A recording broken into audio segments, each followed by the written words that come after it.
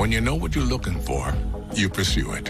And with vitiligo, the pursuit for your pigment is no exception. It's time you had a proven choice to help restore what's yours. Opzelura is the first and only FDA-approved prescription treatment for non-segmental vitiligo, proven to help repigment skin over time, restoring what's yours.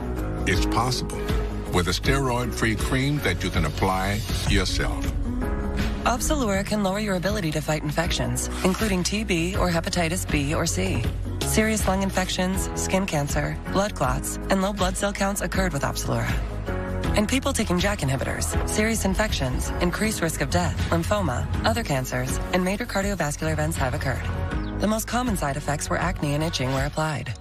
If you're on the pursuit, repigmentation may be within reach. So, are you ready? Ask your dermatologist about Opzelura. Pursue it.